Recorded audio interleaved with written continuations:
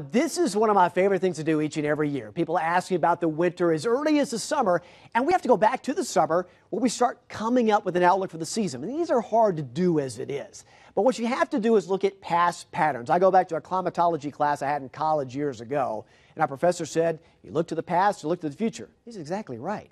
And that's what we do. We look at past patterns. We're looking at ocean currents across the the globe. We're looking at our regional autumn patterns that we've had up to this point in the autumn. And you have to remember that even when you look at these past patterns, no two winters are exactly alike. You'll learn something each and every year. They're all sort of different, but you look for similarities in temperature and precipitation patterns. And also with that, some folklore. Yeah, I counted the woolly worms and I did count the fogs in August because I know growing up here, that's what you do when you factor that in for the winter outlook. So here we go with sort of a, a broad brush idea. We look at the ocean circulations across the globe.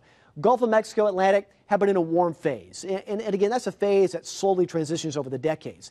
The Pacific is predominantly cool, but also warm back of the western equatorial waters and cool off the coast of South America. So when we look at the El Nino phase, so to speak, it's been in what we call a neutral phase. There's no El Nino, no La Nina. But as we go through the winter and into early spring, they're expecting, at least models are, a transition from a neutral to what's known as a warm neutral or a weak El Nino. Now, typically, strong El Ninos mean very stormy patterns for the east and southeast with a strong southern jet stream. But a weak El Nino is a little bit different. A lot of times, weak El Ninos can mean temperatures that are colder than average in the east and southeastern U.S. with warmth back to the west. So it puts the heart of the cold here over the Midwest. So that's something to factor in. On a shorter range scale, we also look at what's called as the North Atlantic os Oscillation and the Arctic Oscillation.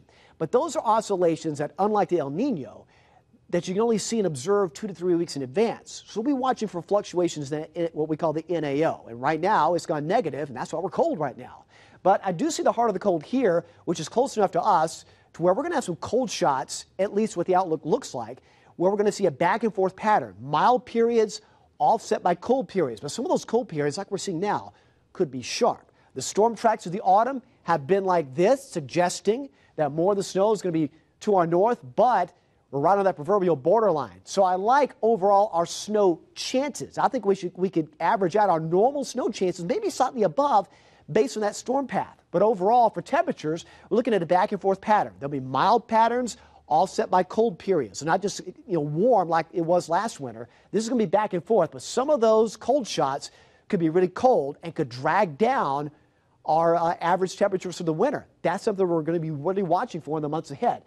Overall, rainfall near normal, but again, based on that storm track, I think we could at least see our average range of snowfall, which per year is around 4.8 inches. But if the storm tracks hold, it could be slightly above that, being right on that borderline. So again, there's a lot to be anxious for if you like snow. I like snow. I know Kim loves snow as well. So we're kind of looking at this optimistically, thinking, okay, I like this. And yeah. that's what this is, is an outlook. Is it going to do this? Well, only time will tell. But every step of the way through winter, like we're doing for tonight, we'll keep you posted every step of the way on all the fluctuations that go on between now and mid-March. It's a long time, but that's what we do. I like snow too. Somewhere else. Exactly. But I like snow. I like it here. Yeah, okay. me too.